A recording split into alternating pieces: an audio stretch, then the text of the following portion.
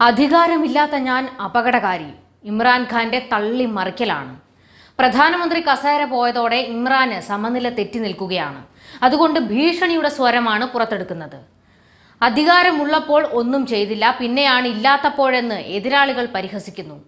എന്നെ ഇനിയാണ് ഭയക്കേണ്ടതെന്നാണ് ഇമ്രാന്റെ ഭീഷണി. പെഷാവറിലെ ഒരു റാലിയെ അഭിസംബോധന ചെയ്ത് സംസാരിക്കുകയായിരുന്നു ഇമ്രാൻഖാൻ അധികാരത്തിലുള്ള സമയത്ത് താൻ അപകടകാരി ആയിരുന്നില്ലെന്നും ഇപ്പോഴാണ് താൻ അപകടകാരിയെന്നും ഇമ്രാൻഖാൻ പറഞ്ഞു. തനിക്കെതിരെ അവിശ്വാസ വോട്ടെടുപ്പ് നടക്കുന്നതിന് മുൻപ് പാതിരാത്രിയിൽ പാക് സുപ്രീം കോടതി ചേർന്നത് തനിക്കെതിരെയുള്ള ഗൂഢാലോചനയുടെ ഭാഗമാണെന്നാണ് ഇമ്രാൻഖാന്റെ ആരോപണം. ഇതേസമയം തന്നെ മറ്റൊരു ഹർജി കേൾക്കുന്നതിനായി ഇസ്ലാമാബാദ് ഹൈക്കോടതിയും ചേർന്നു. അന്ന് സ്പീക്കർ രാജിവെച്ചതോടെയാണ് വിശ്വാസ വോട്ടെടുപ്പ് നടക്കാതെ പോയത്.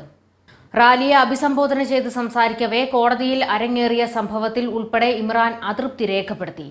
നിയമവിരുദ്ധമായി ഒന്നും ചെയ്തിട്ടില്ല. എന്നിട്ടും എന്തൊക്കെയാണ് അന്ന് സംഭവിച്ചത്? ഇമ്രാൻ ചോദിച്ചു.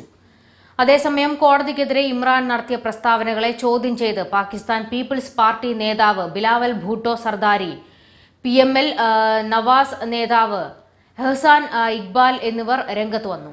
ഭരണഘടനാ ലംഘനം നടന്നുവെന്ന് ബോധ്യപ്പെട്ടതിനാലാണ് കോടതിക്ക് ഇടപെടേണ്ടി വന്നതെന്നാണ് ഇവരുടെ പക്ഷം.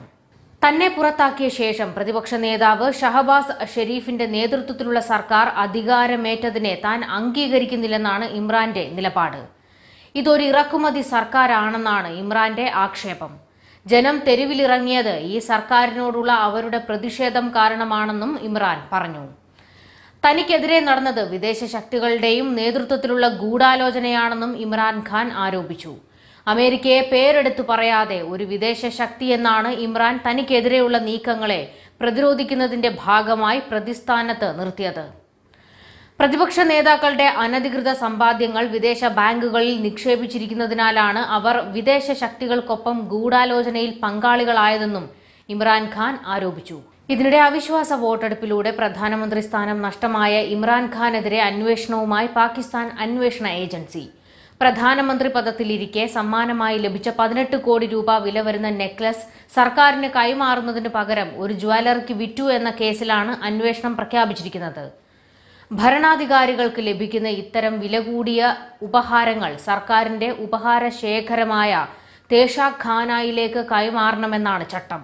എന്നാൽ ഈ necklace Imran Khan special assistant Zulfikar ബുഹാരിക്ക് കൈമാറുകയും ഇദ്ദേഹം ഇത് ലാഹോറിലെ ഒരു ജ്വല്ലറിക്ക് പതിനെട്ട് കോടി രൂപയ്ക്ക് വിൽക്കുകയുമായിരുന്നുവെന്ന് എക്സ്പ്രസ് ട്രിബ്യൂണൽ പത്രം റിപ്പോർട്ട് ചെയ്തു. ഫെഡറൽ ഇൻവെസ്റ്റിഗേഷൻ ഏജൻസി വിഷയത്തിൽ അന്വേഷണം പ്രഖ്യാപിച്ചതായും റിപ്പോർട്ടിൽ പറയുന്നു.